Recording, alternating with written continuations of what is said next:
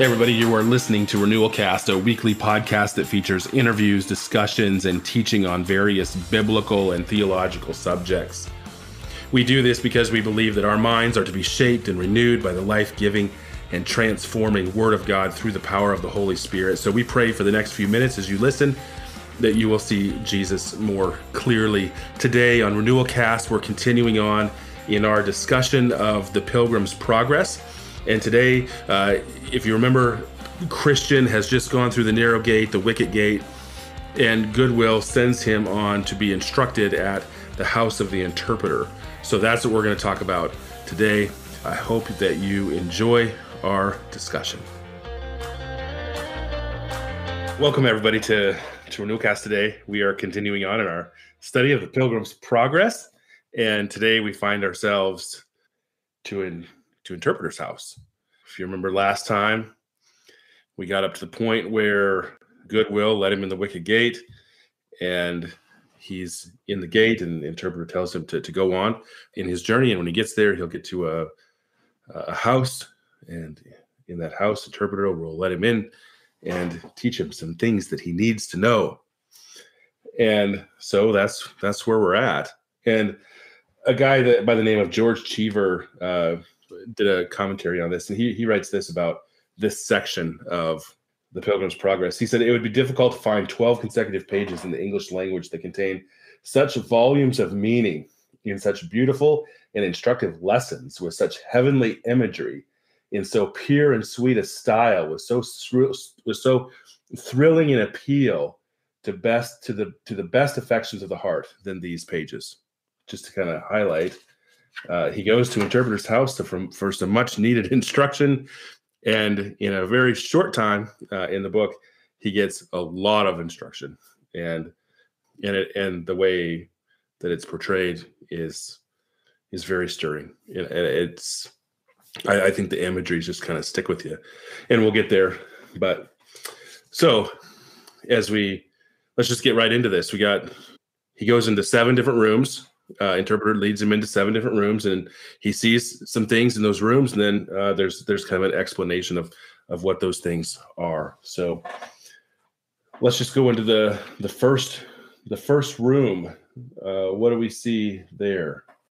He finds a, a very grave person whose eyes were looking towards heaven. He had the Bible in his hand. Expression of truth was on his lips. World behind his back. He stood pleading with men and a crown of gold hung over his head. So that's our guy. That's our who's guy. that? Who's that depict? What's a that godly, depict? I, I, would say it's a godly pastor. It's Okay, probably yeah. Yeah. probably John uh, Gifford, uh, Okay. his pastor. It's probably kind of who he has in mind there Yeah. he's So a godly minister of the gospel, a godly pastor. That's right. A, a pastor. He's got his Bible in his hand. He's um, yeah, it's good. Good picture of a pastor. And that's what uh, the interpreter. That's kind of the pastor's role, isn't it? The, to be an interpreter. Interpreter's house is kind of the church, right? Isn't the church kind of the role of the church to be the interpreter's house? You kind of see that a little bit, and then yeah yeah, yeah I would I would agree. as well. Any thoughts, Jay? Keep rolling. Keep rolling. Yeah, Keep that's, that's a, just a, a wonderful picture of a godly pastor. Good. Yeah, and I and it's one of those things. I mean, you could kind of go into each of these images, and I mean, you could really spend a, a podcast episode on, Yeah. on each one of them. We're trying to to kind of move through this and just hit the the highlights. Uh huh. Um, but so we get to the next room, and we see this is the the guy sweeping the room, right? The room full of dust Uh-huh. interesting thing that happens in this room, right? It's room is dusty. Somebody comes in, sweeps the room. The dust is stirred, and and it's so it's choking. Can't can't breathe hardly in the room, and and then uh, somebody else comes in and sprinkles some water and settles the dust. hmm And this is a picture of the law, right? The law. Uh, when one comes to, to faith, the law is is stirred. Uh, it becomes choking. The law uh, itself does not uh, save, but then Uh, the the the sprinkling of the water is is the gospel. Um, am I right on that, Jay? Yeah. Romans 7. He has in mind there, I think. Uh, we're free from the tyranny of the law. The law has no power to justify, but the gospel comes in and settles it and cleans it up. Yeah, and all the law can do in the heart is just expose sin, show sin, stir up sin. It can't it can't give any power over it. It can't it can't quench sin. It can't it gives no power over sin. Yeah, But Bunyan says. does. Yeah, Bunyan says this is to show you that the law, instead of it effectively cleansing the heart from sin, it does in fact arouse, give greater strength to, and cause sin to flourish in the soul. Yeah. Uh, I like that. I like that picture. I, I think that's. I, I do think that's a a good image of the the law and the and the gospel and how we shouldn't intermingle them and and, and make the law into the gospel. You know, the the law, when it's stirred up, the more it's stirred up, it it, it chokes you. It doesn't save you. I, I, I think that's a a great picture of of that. We need the the gospel to come and and deal with with our sin because the the law uh, cannot do that. So 1 Corinthians 15, 56. The power of sin is the law. okay, anything else you guys want to highlight there? No, I think that covers that. Now we got patience and passion, two children. Yeah. Passion was not at all content, and patient was very quiet. And passion represents the, the people of this age. They want it all now. Um, the people of the world, they want everything now. Where patience is the is the pictures the the people of the kingdom of heaven, the people that that are waiting and living for that for that day. Uh, they're, they're waiting patiently for that day. Yeah. So let's just kind of let's kind of back up again for for a minute now that we've kind of looked briefly at what three rooms. What is the so he he comes, we said that that he gets saved as he's brought into the the narrow gate, the, the wicket gate, and then he's sent off to to interpreter's house. So he's being instructed and he's learned and he's learning some some very interesting things, right? The the importance of of the word, the the the the, the preacher, the the difference between uh, law and gospel, and and now, you know the the temperament of of passion, and you know explain. So, what is the what do you think the the purpose is of interpreter's house? You know, what exactly is he being instructed? You know, what's the point? I guess. What kind of guy is he going to be when he comes out of there? How's it supposed to help him? Well, it's grounding him in some elementary truths. He, he, you know, Christians need a godly, a godly pastor, one who carries the book, who, whose truth is on their lips, who's the world behind their back, and they're they plead with sinners. They, they need that. They need that that pastor. They need to understand the diff- the- what the law's purpose is and what the gospel's purpose is. They need to understand the distinctions, and they need to understand the basic temperament, the the distinction between the people of this world and the people and the godly people. So these are basic Christian things for a new believer to grow upon. And so, yeah, Yeah, I think that's I think that's good. Uh, Jay, any?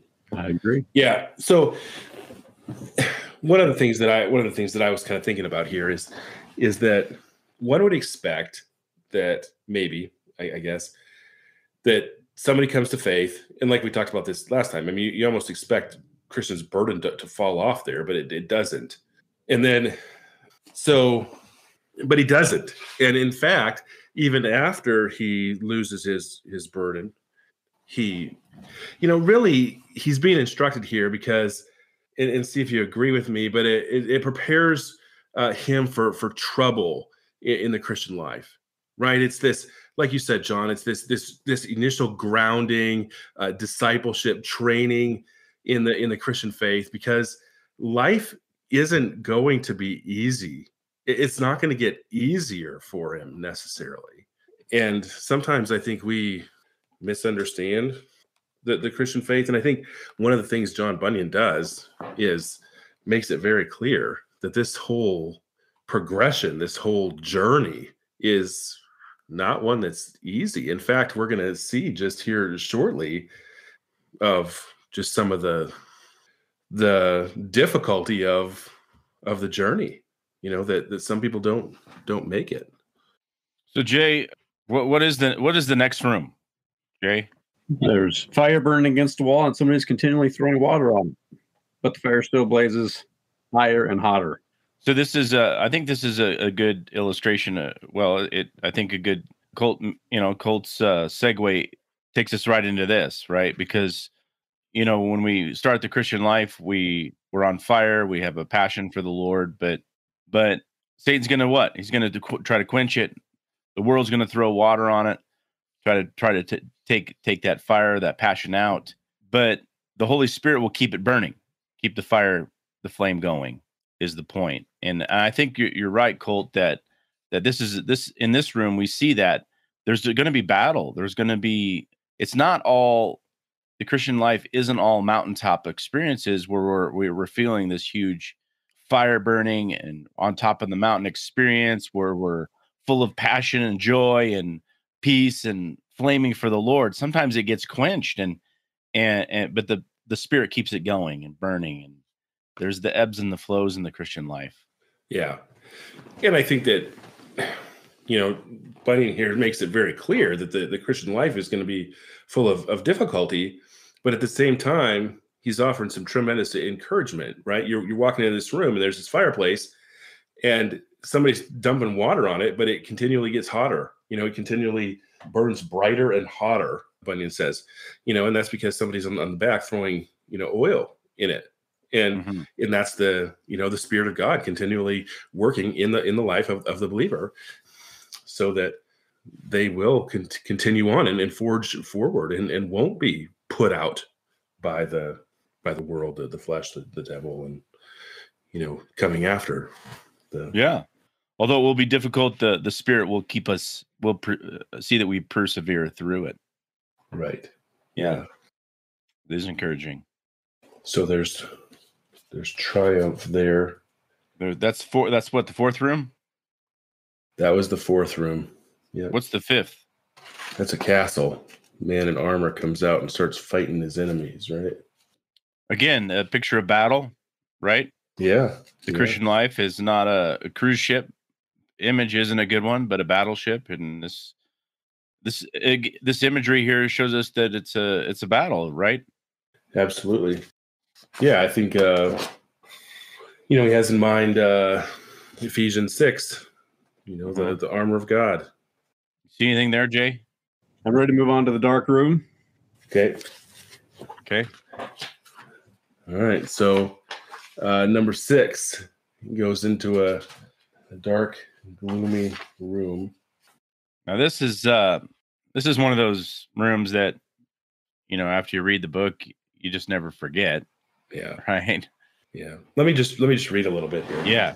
Then Christian said, "Now let me go forward." But interpreter replied, "No, you must stay until I have showed you a little more." After this, you can be on your way. So he took him by the hand again and led him to a very dark room where a man sat in an iron cage. Now, this man seemed very sad to look upon.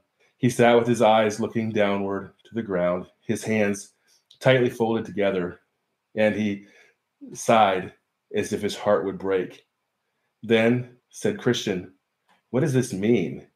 So the interpreter told him to talk with the man and then you have this conversation that takes place between Christian and this man. But it is interesting that, you know, Christian at this point felt he was ready to go.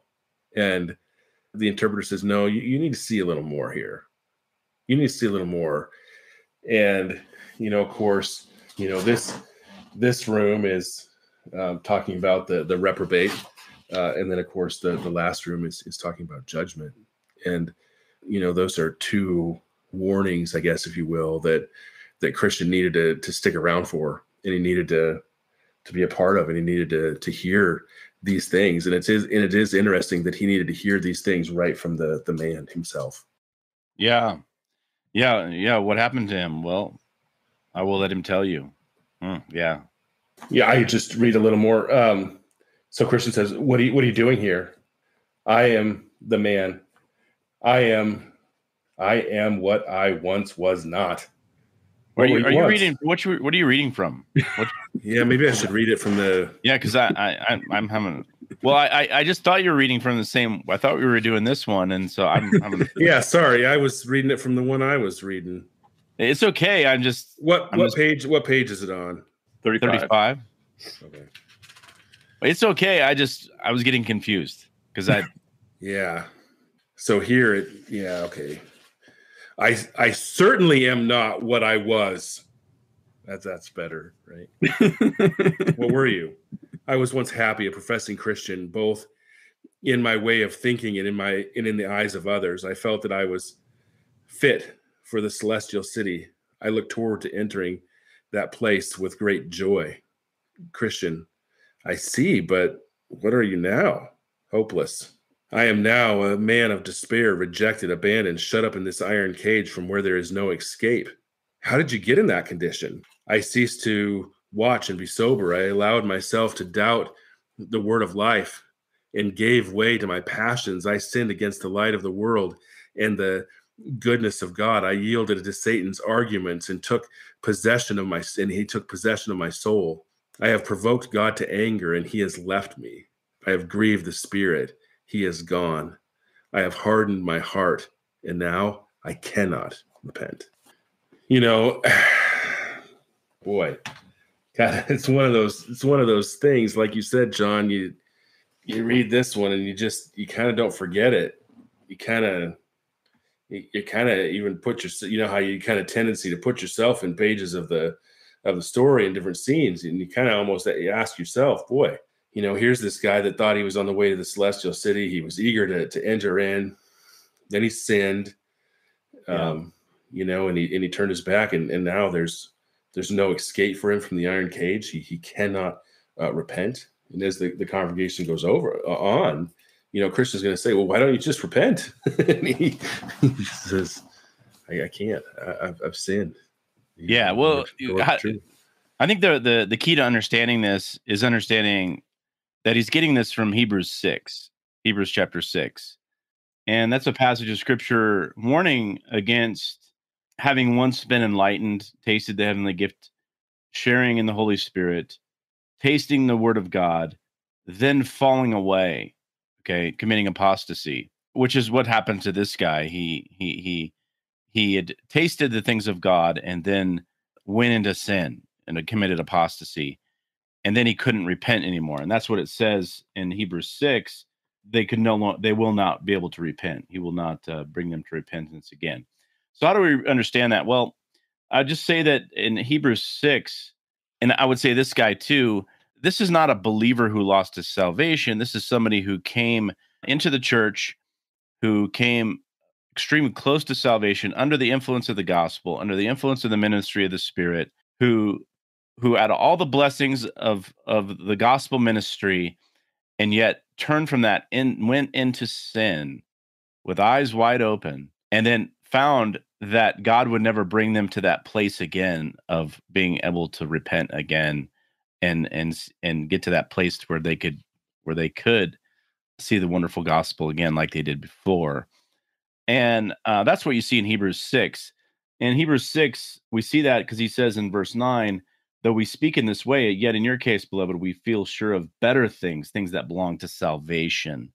So the the implication there in Hebrews 6 is that is that those people weren't saved that couldn't repent. And so instead of seeing this person as someone who's saved and lost their salvation i think it's best to see this person as who came really close and then went into apostasy and then god would never bring them to that place again where they could repent. But this is a, a scary reminder just like hebrews is meant to be to us to to persevere in the christian life to as hebrews uh excuse me second corinthians 7 1 says in the fear of the lord we, we pursue holiness right pursue holiness in the fear of the lord yeah Yeah, I, I would say that I there's. it. Uh, Yeah, I think you're right, and I, I don't think uh, I don't think Bunyan would say that these people are lost their salvation and then and then uh, were once saved and then lost their salvation. But uh, like you said, I, I would agree wholeheartedly with you. There's there's a lot of uh, scriptures that, that that speak of of this idea uh, of not so much you know the parable of the soils. We we talked about this. You Yep. know that these guys eagerly uh, follow, and, then when when things come up, they they come away. Uh, in, in church, in our church, we're preaching through John six, and you know Jesus walks out on the water and goes and, and meets those disciples, and then the next day, this multitude gets up. They can't find Jesus. They they figure out that he's uh, across the Sea of Galilee with these other disciples, and they're like, "How did you get here?" And Jesus doesn't answer their question. He he turns around and said, "You're searching for me because you want to fill your bellies. You know, you want you want more food. You're just thinking of the loaves and the fish. You know, you're not thinking of the the fact that you you missed the you missed the sign. You know, the sign was pointing to, to me as, as the bread of life that they could fully satisfy. You're missing that. You just want to satisfy your belly.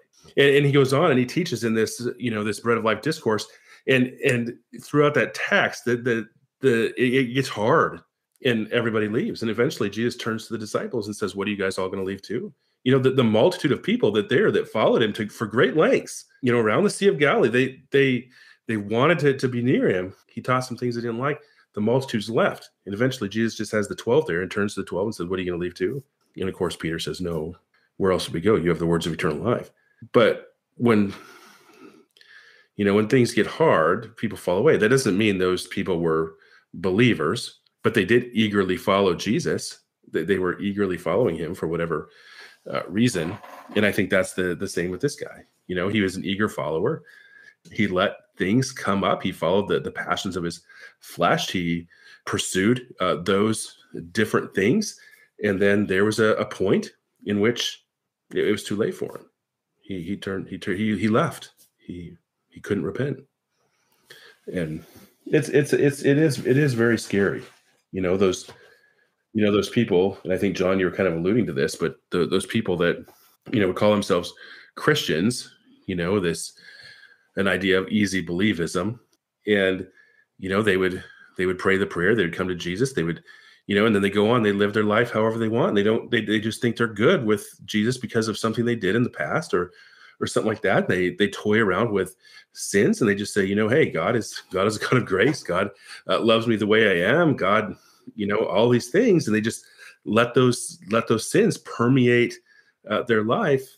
Boy they're they're running the risk of being they might think they're free but they're actually this guy in the, the iron cage. And I, I i was going to ask you this question too and I, I don't know how it fits in here but you don't want to take the the allegory too far you know but you know, people in this place, this guy in the iron cage, do they know that they're in the iron cage, that they're incapable of repent? You know, you know, you kind of see where I'm getting at here. Are they actually duped into thinking that they're still on the road to the celestial city, even though they're on the wide road that leads to destruction? Well, I I I, I know somebody. I, I've I've I've had I've I've came across people that that were living the Christian life, were doing really good, and like this, they went into their lusts and turned away and went into sin, and they couldn't get they couldn't get out, and I think they I think they knew they were this. I I do. I mean, it's a very very frightening thing to even consider. So I've I've seen I've seen that. So I've actually come across people like like this, and it's a very frightening thing to consider. I don't know in every case though. You know, it, it is a it is a call just to make sure that uh, you know. I recently read Apostasy by John Owen. The book, uh, his book on apostasy is really good.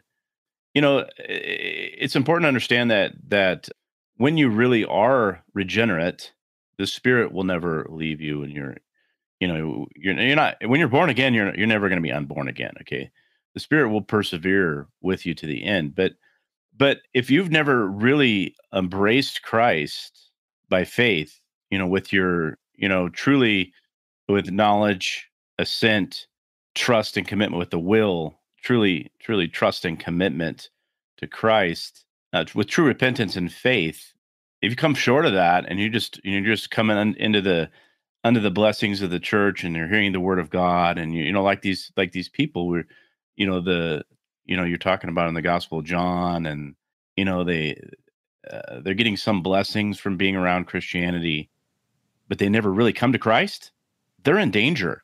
They're in danger. You need to come to Christ. You need to you need to come to Christ and settle settle the issue because there's security in Christ, but but to come close, there's a danger. Do Christians never end up in an iron cage, hopeless? Well, that depends on your theology, I think, and, and maybe we'll hear from you, and maybe you'll you'll straighten us out. But my theology would say that he's talking about Hebrews six, and those people who are in the iron cage in Hebrews six were, fell short of salvation. But you you have the floor, sir. Christian later on in the story is in an iron cage and he's hopeless, right? Oh, well he gets out, right? Yeah. So we don't always know. Okay. What sure. state the person that iron cage is in. Okay. Yeah. Okay. Right. I Yeah. But this guy Yeah, let me let me just read uh let me just and, read. and you're right. And you're you know that's a good point because you know those people out there maybe that are in our ministry maybe that have fallen away maybe a guy is in our church maybe under church discipline maybe left his wife whatever and he's in apostasy for years he could come back to the lord and and we don't ever give up on them. so that's a good point jay. That's a good point. Right. The i yeah i think that's that's a good note there to that that christians true christians do leave for these things. They they do uh, get caught up in the lust of the flesh the pleasures and profits of the world and in those enjoyments for a time. But to them like like you you guys are pointing out the the spirit never leaves them. The the spirit you know the going back to the fireplace right? At, at some point you know that that fire is going to get stoked uh, by by the spirit uh, using whatever means and that person's going to come back. Let me just read uh, this last little bit of hopeless's words and then and kind of lead into the last thing that christian needs to see. Hopeless for the lust of the flesh, for the pleasures of this world, the profits of this world, in the enjoyments of which I did then promised myself much delight. But now every one of these bite me and sting like a serpent. Oh, if I could repent, but God has denied me repentance. I feel his word gives me no encouragement to believe. He has shut me up in the iron cage of my sin and disbelief and will never, never, never set me free, nor can all the men of the world free me from this prison. Oh, eternity, eternity, how shall I cope with the miseries that shall be mine forever? And then, interpreter, let this man's words be remembered by you to be a constant caution. Christian, well, this is awful. God help me to watch and be sober and to pray that I may shun the evil and misery of those who go that way. Sir, it is not time for me. Sir, is it not time for me to go on my way? Interpreter, wait till I show you one more thing and then you may go. So there's one more thing that Christian needs to see and then he'll be uh, on his way. And this is an image of an old man uh, rising out of bed, shaking and trembling because he was he was left behind. I think is the way it's worded, isn't it? Yeah. Yeah. Um, so the the rapture didn't not left behind, not left behind like that left behind. okay. No, he's talking about he's talking about judgment, right? The the day of judgment. You know, this guy was he was left behind in the fact that he was found lacking. He was he he wasn't uh he wasn't found right. Yeah. Yeah, and I, I think one thing. Let's. Uh, I, I want to make sure we end on a note of hope. If we have a desire in our heart to to get right with God and repent, I believe that that it's not too late for anybody. That that's my my my belief. So sure, certainly as Jay Jay mentioned, believers can apostasy and fall into the cage for a time, and that can be hopeless, even for a believer. And many believers have felt like they were in the cage forever and committed the unpardonable sin and and uh, we have may have been there ourselves. But uh, the point is is that if we have desire to repent and turn to the lord that that in itself is a sign that we we haven't gone too far. That is how i view it.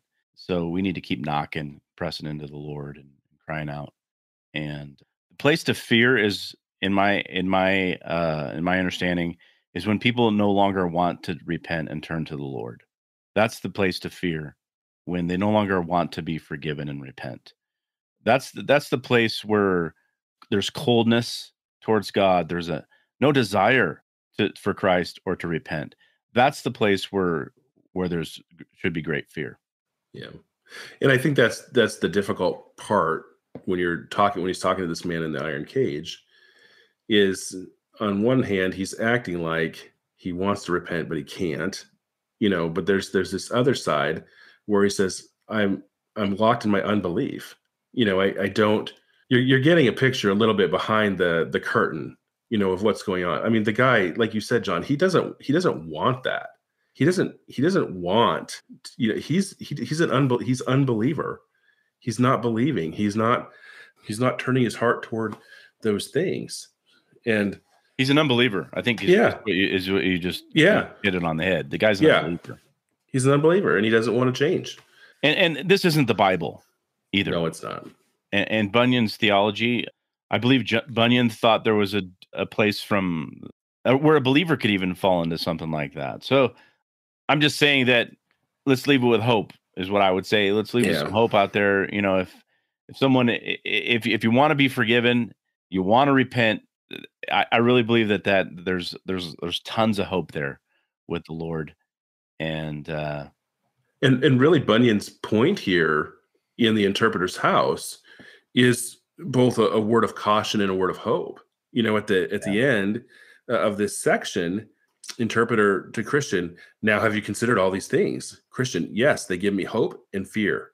Interpreter well keep them always in mind that they may warn you against evil and goad you forward in the may you in the way you must go. And may the comforter always be with you to guide you in the way that leads, leads to the celestial city. You know there's there there is great hope hope here. Yes there's a word of warning but especially in that scene with the the fireplace right? There's yes there's going to be uh and the the scene with the the armor the armor you know the guy that comes out and and fights the battles that there there is victory uh you know for the believer in this. You know it doesn't end for everybody in the in the iron cage but that does exist. You know i think for christian there, there's great hope that you know that the lord is is with him. He's been with him this far. He's he's pushing him forward. He's going you know and christian realizes that yeah he needs to like you said john press on press in. Okay. All right. So uh next time how far are we going? Good question. We have some interviews coming up. yeah yeah remember do, to, don't we? Yeah, remember to look at the blog too. But next Yeah, time, renewalcast.com you can check out there's a blog section with several blogs there from a lot of different people. Well, let's uh let's try to make it uh up to uh arrives at House Beautiful, maybe. okay Or do you want to just cover loses Yeah, burden so- the cross? Or do you want to just cover that? Loses burden? well let's try to get to page 47 47? in this book Okay. Yeah. And if Yeah. we if we don't get past the cross, well that'll be fine too. yeah yeah all right sounds good all right All thanks right. everybody till next time thanks for listening. You can find more information about us and check out past episodes on the website at renewalcast.com or you can connect with us on social media like facebook facebook.com slash renewalcast. We will see you again next week lord willing